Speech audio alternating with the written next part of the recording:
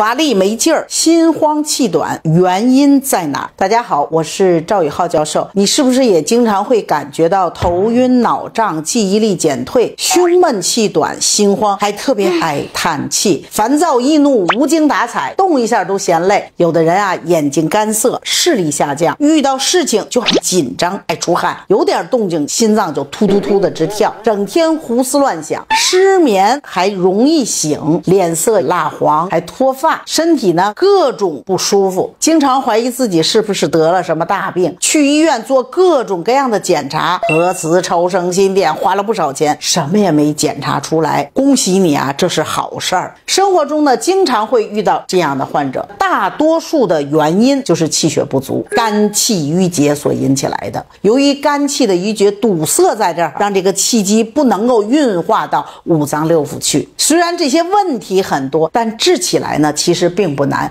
抓住了主要原因，该补就补，该梳理就梳理。